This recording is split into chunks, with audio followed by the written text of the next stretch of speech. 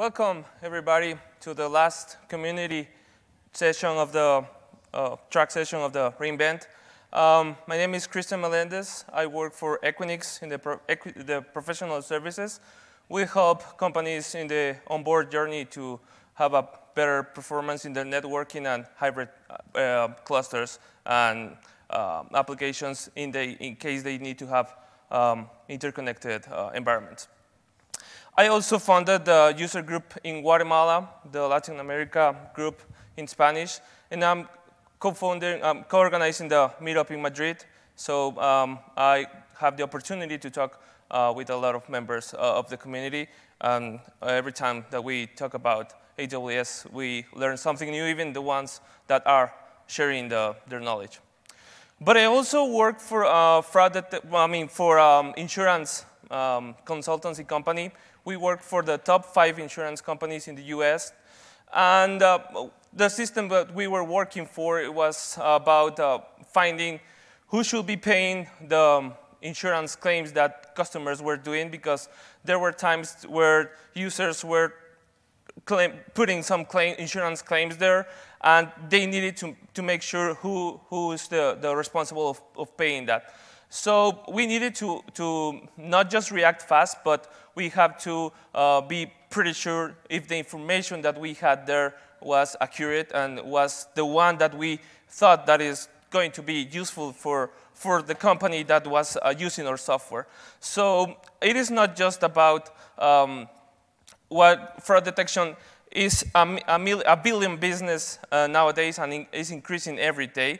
So it is um, an adaptive process that you need to continue learning, that you need to iterate, that you need to keep working on them. You cannot say that you're done with uh, when you find out the fraud.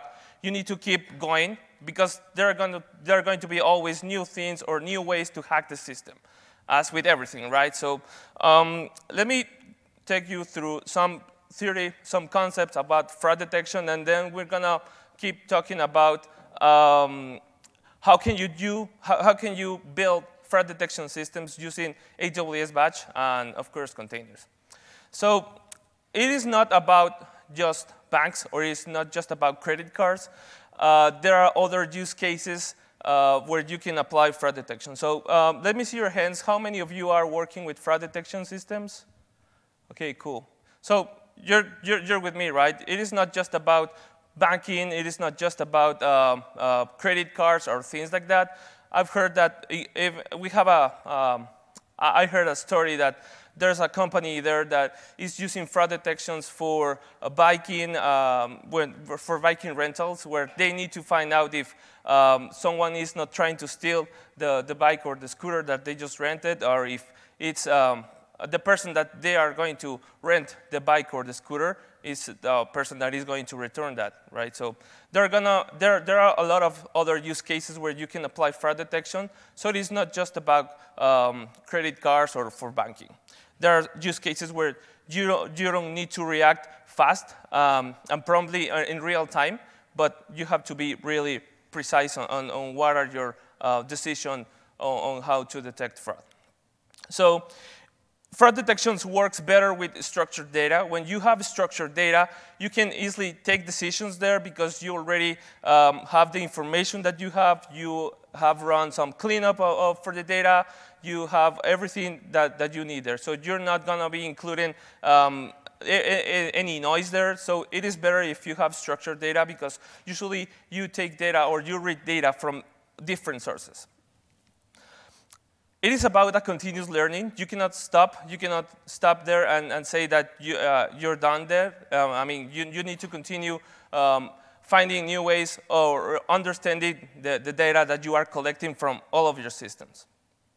It is not easy just because of that, because you, you cannot say that you're done. You need to continue finding new ways of, um, I mean, to, to, to interpret the data that you are collecting with, um, with your systems. So as I said before, you need to react fast and promptly, even though there are systems that where you don't need to have that ab ability, but usually that's the, the, the, concept because, because remember that it is a 1 billion business nowadays and it's increasing every day. So you need to react, um, I, I, mean, at, at, the proper time because if not, you're going to be uh, ending losing a lot of money. So for fraud detection, there are four um, analysis methods that you can implement or that you usually, I mean, or the industry usually um, applies to these type of systems. There are the knowledge discovery database where you actually just collect the data that you are gonna be using. You just collect the data that you need, that you think that you're gonna need to build the, the rules or the algorithm that will detect that there is actually fraud in, in the data that you, are, that, that, you, that you have. There's also the data mining process where you need to find, where you are going to find patterns of the data that you are collecting. You're gonna, after you collected that data, you're gonna understand, you're gonna find out if there are um, some use cases or some data that you think this, that could look like a fraud. So there's also the, those type of analysis that you could be applying. And of course, uh, once you are there, once you find out which are the patterns that you're going to be um, applying or using, you have um, a machine that is going to be learning about how to, uh, because you're going to be having the base of the, of the, of the problem or the, or the fraud, and you're going to be using machine learning to, to continue adapting to that. There's also statistic methods where um, you're going to be using, for example, the average time of, um, of the number of request insurance claims that people is doing and things like that. But those are just um, rules. Those are just numbers that if you don't give the information or if you don't give them the purpose that you are trying to detect the fraud, they're to be meaningless.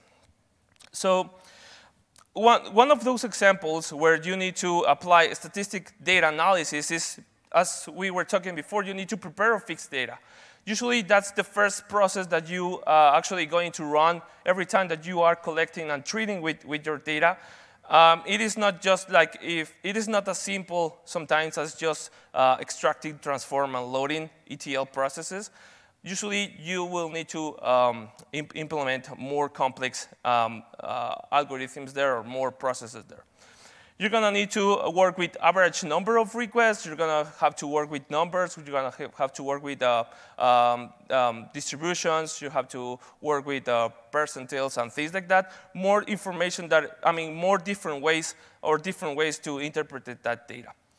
You're going to need to have a cluster and classification every time that you have the data. You need to find out where, where, which data is going to be useful for what. So it, it is useful to, because you're going to be collecting data from all other sources. So it is useful if, I mean, it is helpful if you have that cluster and classification of the data. Um, finally, if, I mean, next, if you have that information there, you're going to be able to detect anomalies in, in the data that you are collecting, that your systems are collecting. And one of the ways or the services that you could be using for, for AWS, I mean, AWS will offer you a lot of services where you can uh, start applying these um, static, statistic anal data analysis methods. So you will have, for example, you traditionally would use AWS Lambda, EC2, uh, Amazon Athena to query the data in a serverless way. You will have um, you, you could be using Amazon um, uh, Kinesis, for example, to process the data in real time. Um, for storage, for, for storage, you will have, uh, you, you could be using S3. And we're going to take a look to some um, few architecture ideas or few diagrams that I have for you here where uh, everything will uh, make sense there. So how does um, all of these services looks like uh, in action? Well, I, I, wanted to use the, the, the, example of, the, of a Lambda architecture because I think that it represents very well what we are trying to, to, to achieve here with fraud detection. Because remember, there are going to be times where you're not going to be using only uh, real-time data or uh, you're going to be just not processing data in real time and detect fraud. Uh, as soon as you have the data there, uh, again, there are going to be systems where, like, for example, the insurance claims that I was talking before, they need to find out if, uh, I mean, the, the, the, record history from the, the, the, the customer, how uh, good is he, how well is he doing on that, if he, if, I mean, is, if it's not risky to pay that bill because uh, he's been doing that for, for several times, for example. But um, even though we have a lot of these cool services, there's one service in particular there that we need to, to take care of, and those are um, EC2 instances. Even though this looks like we have a serverless architecture, we'll still have those, those um, type of uh, problems, not problems, but you need to take care of that. And you usually will install there something to uh, orchestrate the jobs, to orchestrate the, the, the tasks that will gonna help you to, to detect the, the fraud systems. So um, we're going to take a look to that in, in a more detail um, uh, in, in, a, in, a, in other slides. But let me talk to you about some usually open source tools that the industry is using, and I bet that maybe some of you are already using some of these tools. We have a, um, Apache Samza, we have Spark, we have Apex, we have Apache Storm, and we have Apache Flink. Personally, I have used uh, Apache Storm, and I started to, to use uh, uh, Apache Spark a few years ago when I was working with that uh, company that I mentioned. And, uh, and, I find out that maybe it was because um, there were enough information from, for example, from Apache Spark, or maybe it wasn't that mature at that, at that moment, but it was so hard to configure that. It was so hard. I mean, I spent up more time trying to understand the tool, trying to understand how to build something, before I could actually do something. If we, before actually, actually I could uh, build the algorithm, build the, the decision tree that, I'm, that I was going to be using or, or team was were going to be using to detect the fraud that, uh, that we were talking about. But um, even, even these type of tools, they, for example, I can speak for Apache Storm and Apache Spark. They are actually implementing the Lambda architecture. They have the batch processing layer, and they have the speed layer. So you could be applying those, the, I mean, uh, Lambda architecture by using these type of tools, and Apache Spark is doing actually micro-batching processing. So the, the, the thing is that if these tools are actually doing that, why shouldn't we be doing, uh, why we shouldn't be doing um, using batch processing, right? So let's, let, us let us talk about a little, a little bit about batch processing and where I think or where, I, where uh, I've seen that where you need to apply, where you need still to apply batch processing, even though you have now machine learning, even though you have now um, uh, real-time data, there is a time, there is a, a, moment where you still need to have, uh, to, to, to keep working with batch processing. So, but, but maybe, maybe uh, instead of saying just you need to, or there, there are some cases, um, let me show you some of the things that usually you need to keep doing with, I mean, to, to, to, to, do, to do with batch processing. The first thing that you need to, I mean, if you are already working with fraud detection systems, you know that there is also pre-work needed. At, and especially for this type of, of, of technologies where you have uh, at least once delivery. One example of that was the first version of the AWS SQS, where they didn't guarantee you the, the order, uh, I mean, or uh, not just the order, but they say that it doesn't, at least we're gonna deliver once the message to, uh, to the queue. And I had this problem also with um, Kinesis, where I needed to, to run a batch processing job to clean up the data because there were times that I have duplicated data and duplicated data when you are trying to understand patterns and things like that is just noise. You need to get rid of that. You need to work for that. So just by having this problem, at least once delivery, now you could say that uh, I, need, I need to have something to, to, to, to get rid of that, to process that. So start with batch processing. Don't worry if you are not, if you, if you think that even, even if you are working with uh, uh, projects or um, industries where actually machine learning and fraud detection, uh, I mean, on real-time processes are gonna be needed because you need to react fast and promptly, start with batch processing. You need to understand first. Complex analysis will need more data, like I was saying before with the example of the insurance claims, where usually they need to uh, review other type of information before actually giving a response to the customer. So there are, there are going to be complex analyses where different type of sources need to be consulted. High accuracy first, then um, learn how fraud detection looks like. This is gonna be the, the, the, the, the advice that I'm gonna present for you uh, throughout this talk and why you need to have, uh, why you need to, to, to start using batch processing because, as I said before, there are going to be use cases where you need to be, um, uh, um, I mean, to, to have the, the, the level of, of accuracy that you're going to need is higher than the, the speed that you're going to be needing uh, to, to process the data. So you're going to also be able to test multiple hypotheses. At the same time, you're going to be able to run A-B tests. You're going to be able to, um, even, even if you already have something running, you could be applying even um, some techniques that you usually use for continuous delivery deployments, for example. You could be using um, a, a blue-green deployments and things like that. But because you are already using one source to, for the data, to collect the data and to work with uh, and, and, trying to detect a fraud, you're going to be able to, to, to test multiple hypotheses. And because of that, we're going to take a look to which, of, uh, which are the, the, the, techniques and the technologies that you could be using for that. So you'll also be able to troubleshoot by going back in time. So all of these actions and all of these processes that you actually need when working with batch processing are going to be uh, included in the, this service, AWS Batch. Uh, so, but, but again, you're, you're going to still be needing um, real-time machine learning processes. So what, what should be doing now then? Well, to work with AWS Batch, you need to uh, uh, start with what you already have. You don't have to worry about recreating everything. You don't have to worry about um, the working with the scheduler. You just need to focus on what you are developing. And we're going to take a look. We're going to take a recap uh, to what AWS Batch is in case you are not aware of that.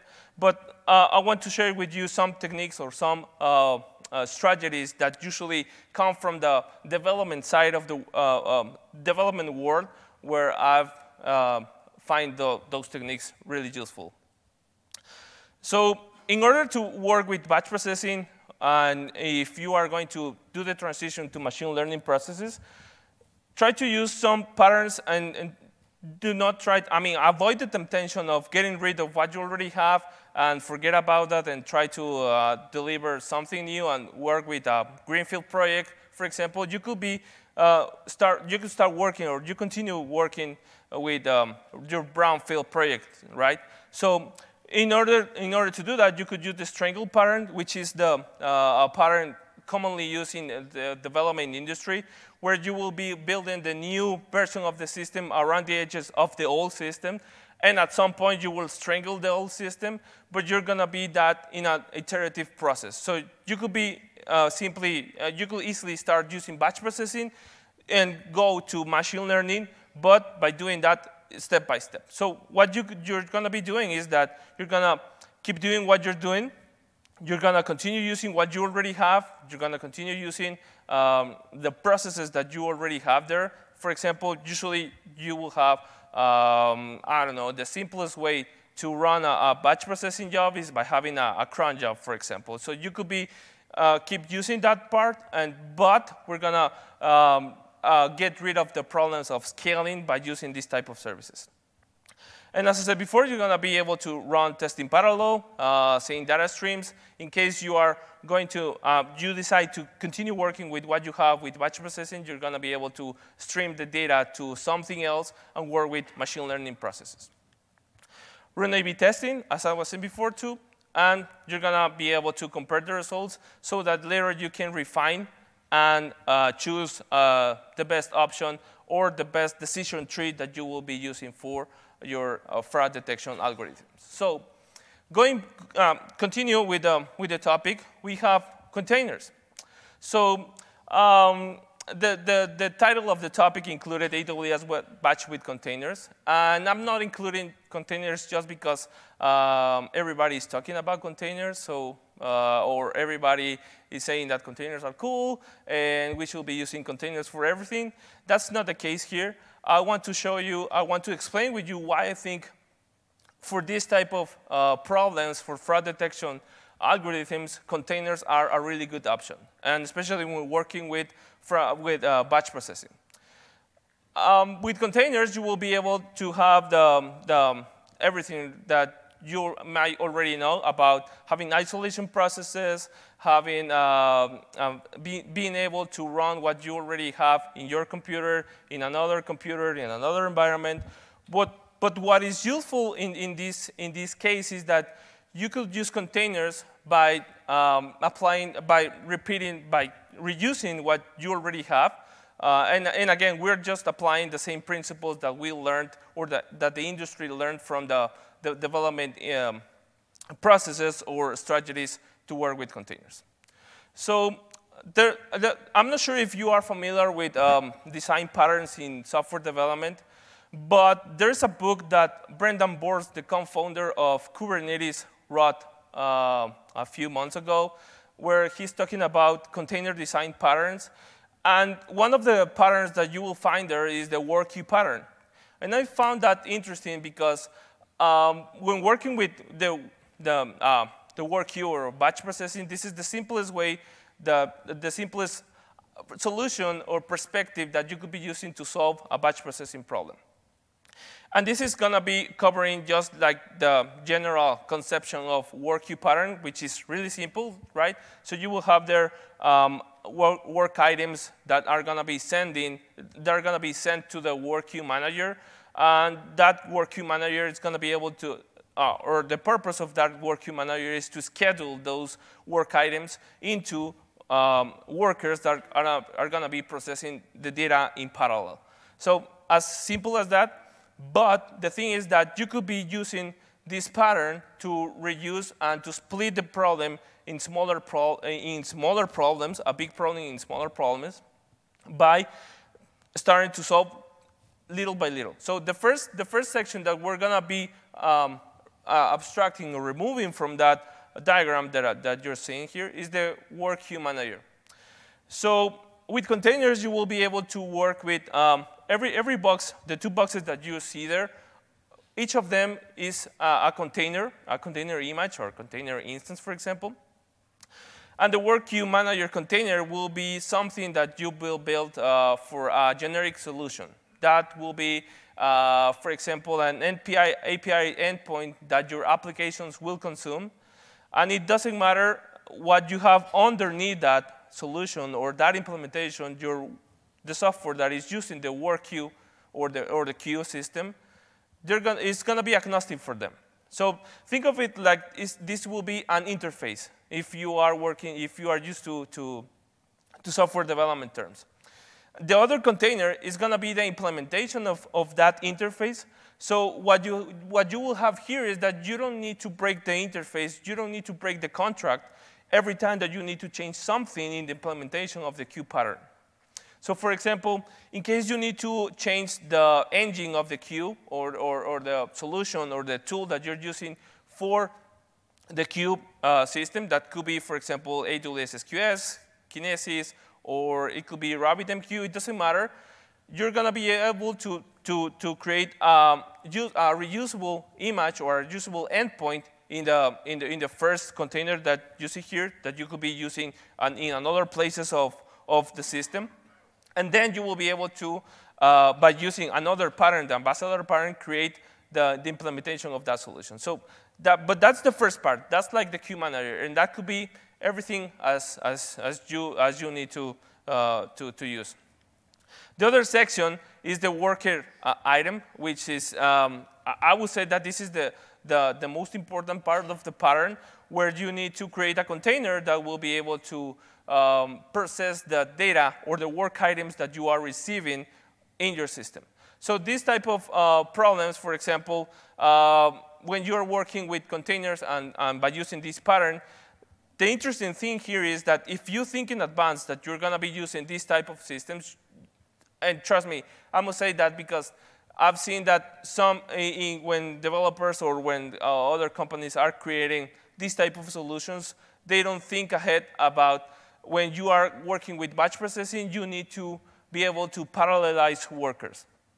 And with containers, you could be able to run something pretty standard and that you could be um, changing by changing the, the, the, the, environment variables, for example.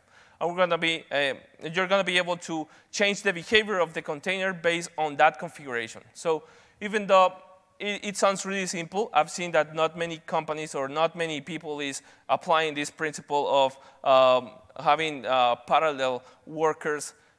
And with containers, you, you're going to be building just one image, just that. When, when you think about that, you're going to be, uh, I mean, you could be saying, I, mean, I need to work in parallel uh, for these processes, so I need to build a scheduler. I need to build something that is going to be able to process that uh, in parallel.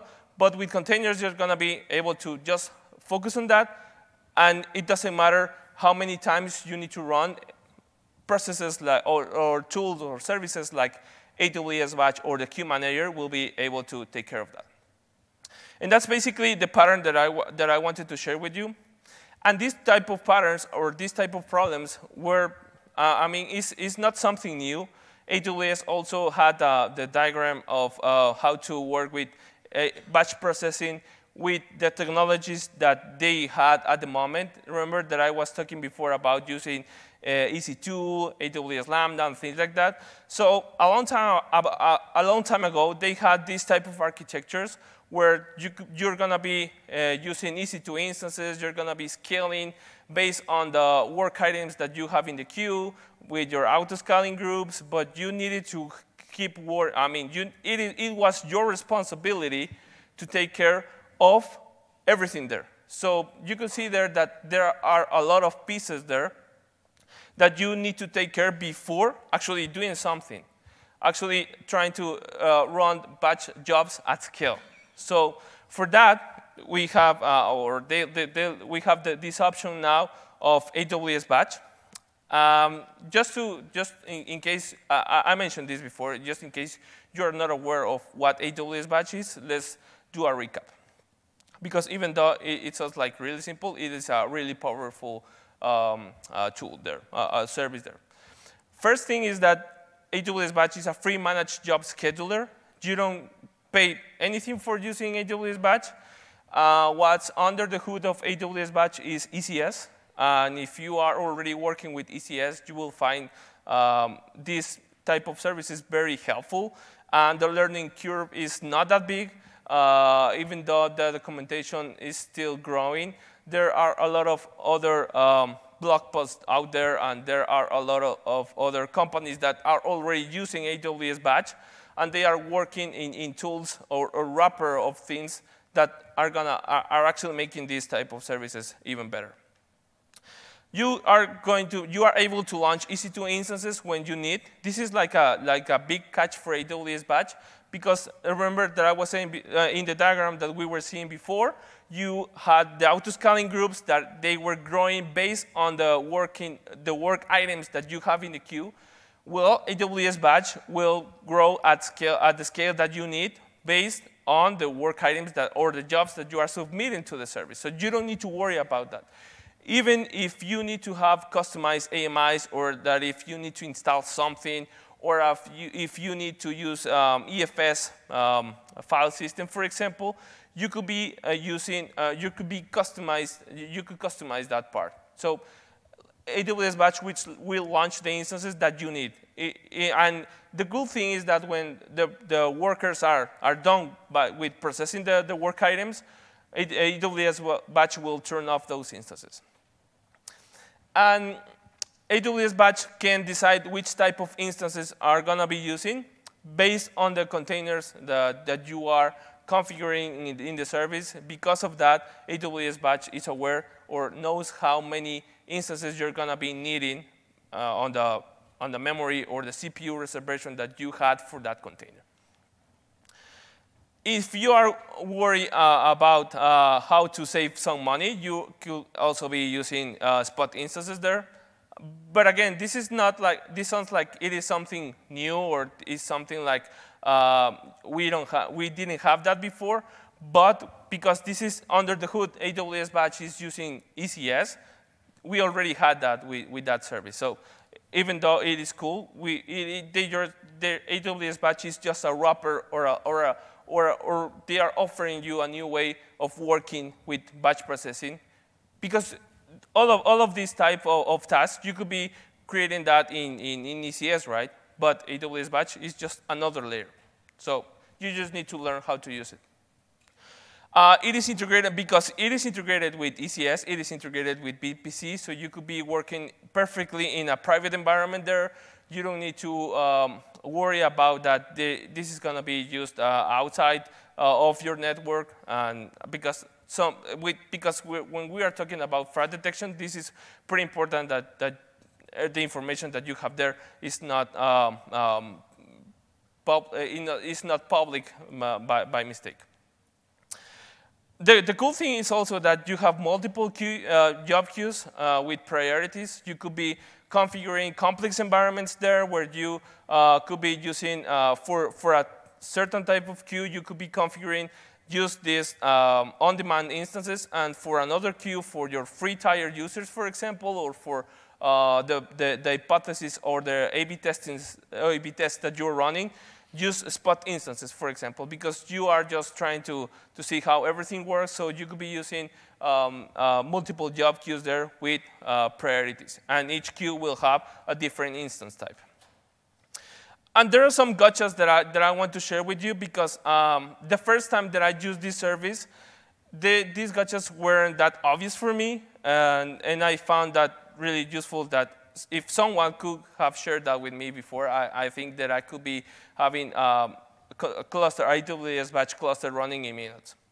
The first thing is that, and the most important, I, I would say, is that in compute resources, vCPUs is not the same as CPU units.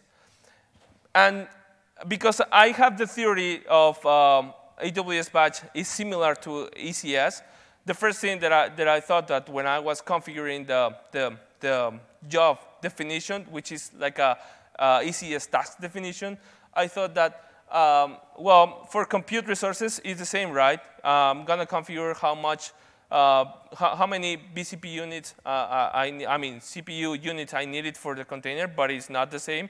So in compute resources, the BCP use is actually the, the virtual CPUs that you're going to be needing for, for that uh, cluster. So you just define that. Um, in job definitions, do not use CPU units because, again, even though it is a task definition in ECS, it is not using CPU units.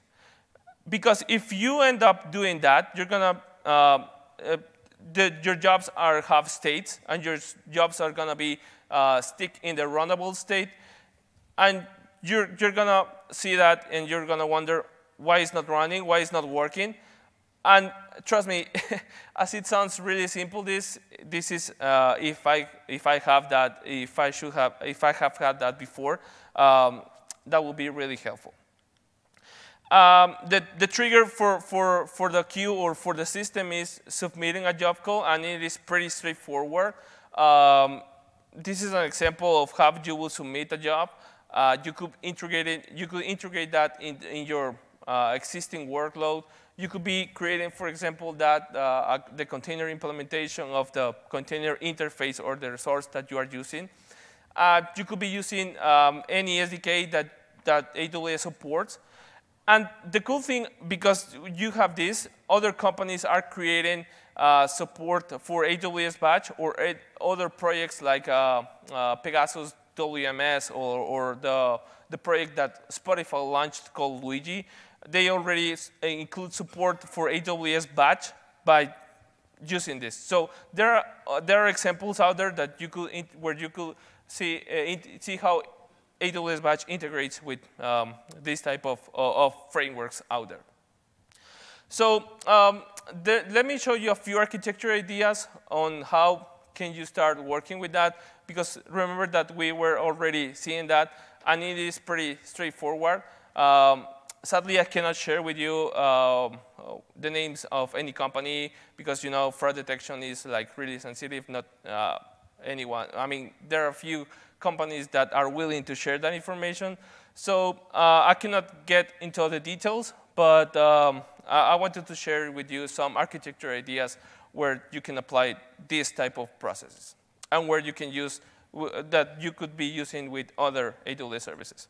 So traditional batch processing with containers will look like this. You will have your users there uh, that are going to be hitting the, the, the, the, the, environment or the resources that you have in, in the cloud.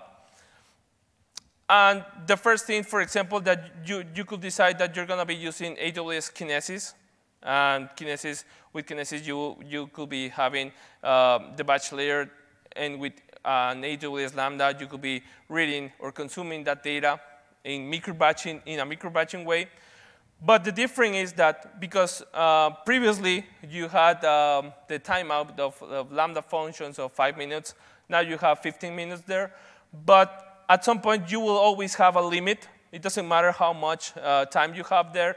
Even if there's a request that AWS Lambda could support more time, there are going to be always in batch processing uh, things that where you will need more time, where you will need that the, based on the work item that will scale and even though you have uh, um, uh, a way to manage those limits in AWS Lambda, there's going to be always a limit. So you could be using AWS Lambda as a proxy to AWS Batch.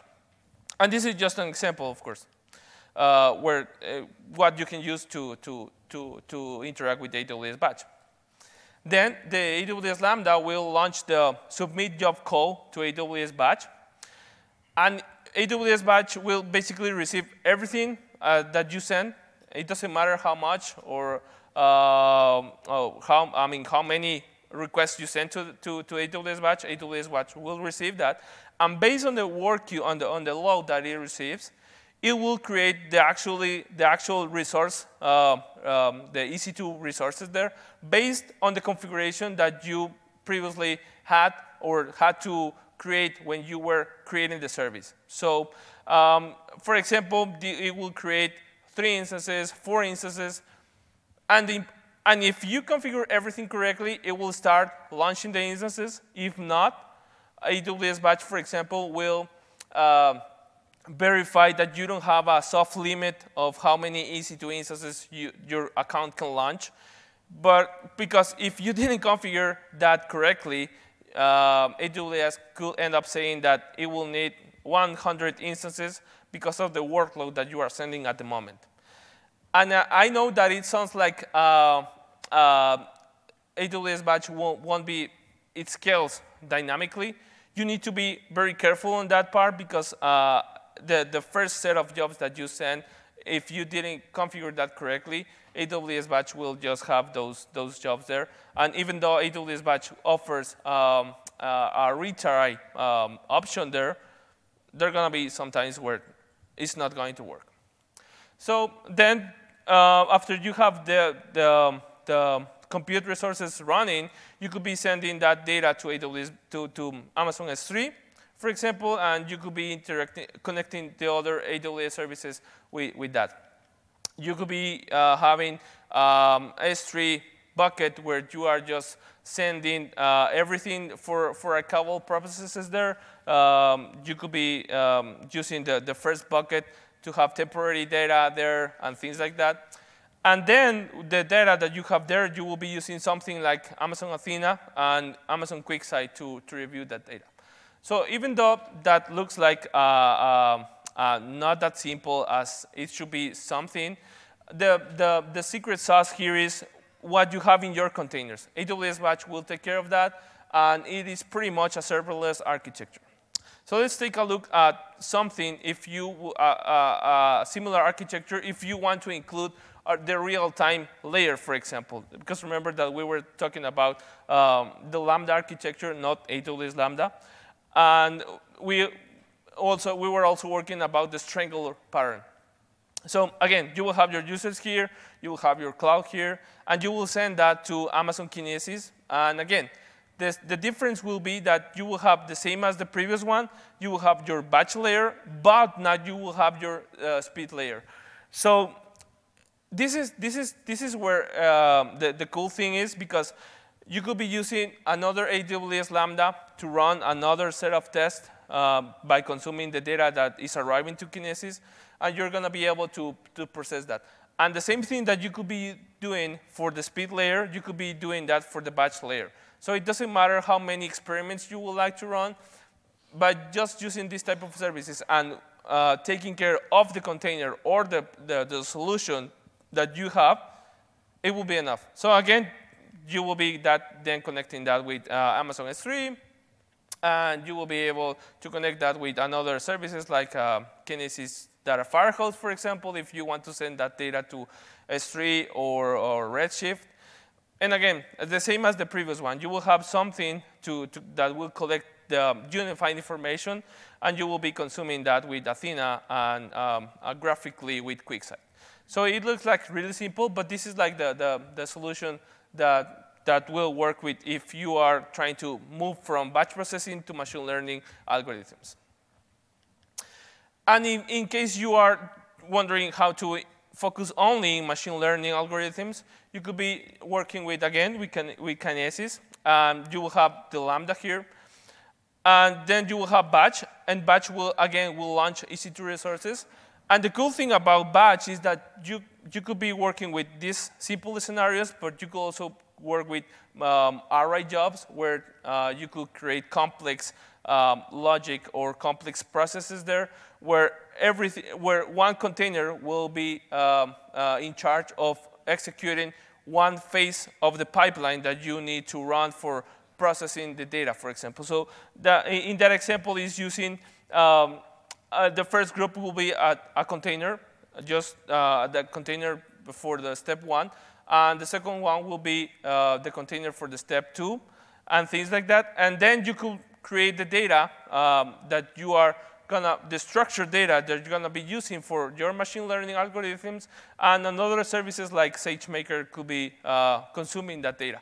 So you will be, um, you, you won't include the, the data preparation in SageMaker, even though it is possible to do that. Um, you could split the problems in, in, in different sections by using AWS Batch and by using containers.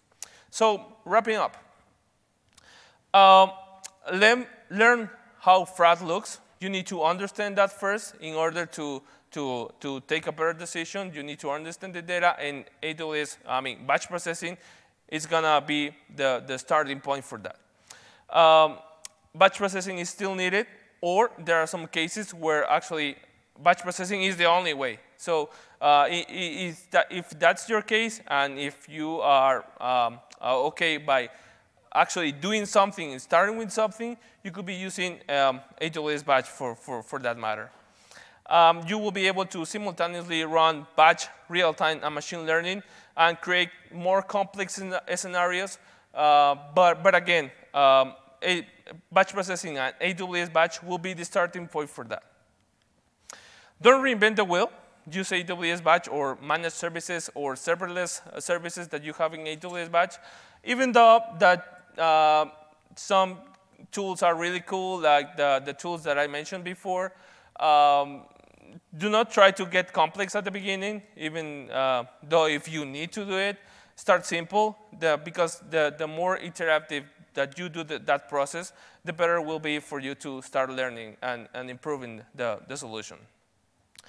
Uh, uh, and again, um, containers will help you to the, reduce the lead time. And just because you are working with, uh, uh, if you work, uh, uh, you think ahead about um, the patterns and think ahead that you're going to be using that to run multiple times, containers and AWS batch will be the solution for, uh, for, for you to reduce the lead time because that will be just a matter of pushing the, the, container, the new container version and you don't have to change anything in the job definition. You could be creating another queue, uh, queue in AWS batch that will be uh, using that job definition of the, of the container image.